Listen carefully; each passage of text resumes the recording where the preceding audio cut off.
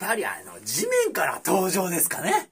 タロット占い師のめくり太郎です。大谷選手のホームラン王への占いを見事的中今日も勝手に占っちゃうよ。今話題の、新庄ビッグボスはパリーグで優勝できるのかさあ、どういう改革をしていくのかということを、占いたいと思います。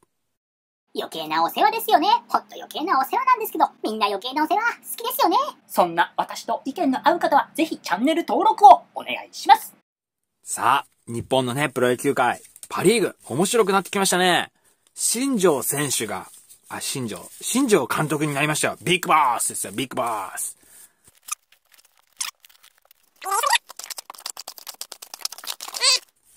大波乱ですね、これは。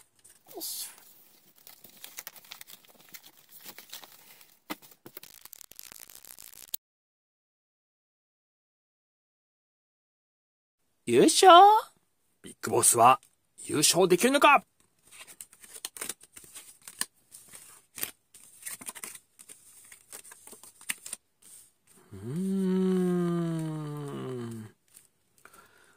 もうね、すでに現役時代からですね、数々のね、すごい、なんていうんですかね、もうプロ野球界でね、もう敬遠する球打っちゃったりしてね、サヨナラヒット打っちゃったりするぐらいですからね。あと、ピッチャーもやりましたよね、外野手なのに。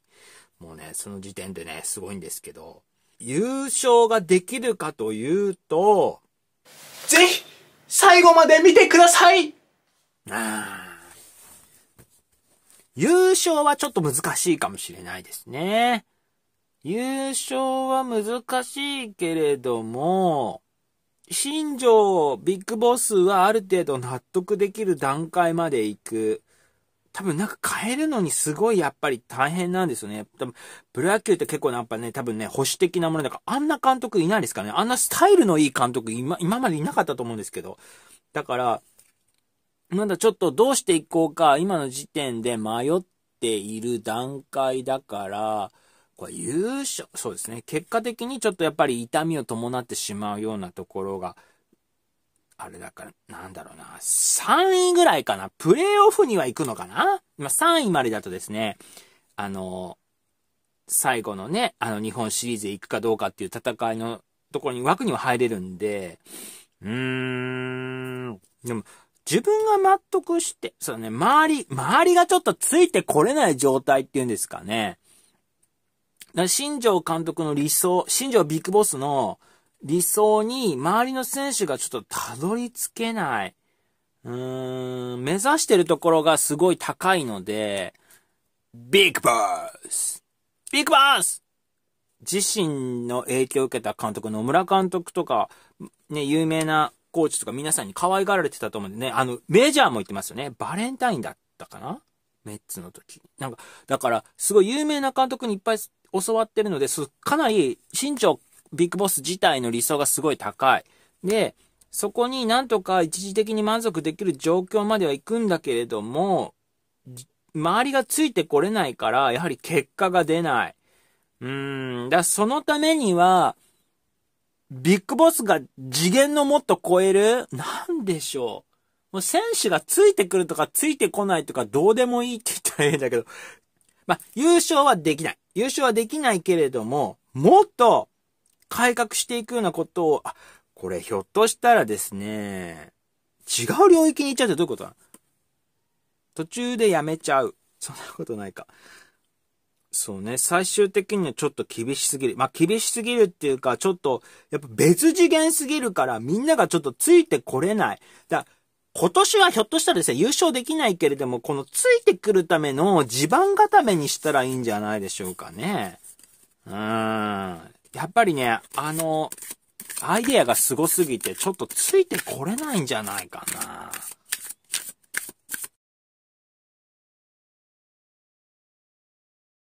ビッグバースで、来年以降、優勝しますか？来年以降も優勝は難しいね。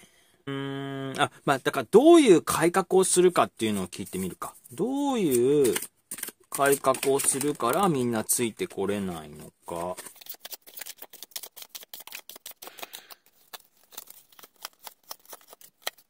あー。そっか。ここからが大事なので、見逃さないようにねなんだろうな。新庄ビッグボスがいいと思ってることとみんながいいと思ってるっていうところのこう目指す位置が野球なのかエンターってなんだろうな。そういう、でも、あの監督っていうか、新庄ビッグボスなんか頭良さそうでセンスも良さそうなので、結果的にそれが野球につながっていくっていうことになってるんだけど、そこが、こんなことじゃ野球につながらないんじゃないかなって思ってる選手が多いから、結果的に、その、なんだろうな、戦力アップというところの方に繋がっていかない。うーん。アドバイスを数比カードからいただきたいと思います。新庄ビッグボスの愛を、な、なんだろうな、それは選手のためを思ってやってるっていうことなんし、プラスになる。それは野球にとって必要なことを野球じゃない方法で伝えようとしてることを選手が理解することができれば、優勝に近づいていくんじゃないでしょうかね。なんかいろいろ言い過ぎてやっぱりちょっとね、選手が混乱しちゃうのかな結果的にはそれは野球につながっていくことなんだけれども、その新庄ビッグボスの今のやり方を変えるやり方をすればですね、その後優勝のチャンスへ近づいていくかもしれないです。だ今年は、来年度も3位ぐらいだし、その次の年もちょっと難しい。その次は ?3 年間。3年間監督できるのかな？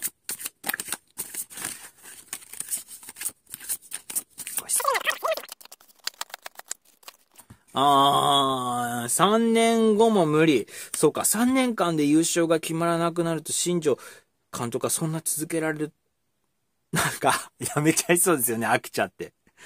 あー、だ、新庄ビッグボスの考えが野球につながってるっていうことをしっかり理解できる選手が増えれば、優勝へ近づいていくことができるけれども、それがなんか結構難しいので、ちょっと優勝は厳しいかもしれませんね。だから言ったでしょ？優勝は目指してないって。言ってた。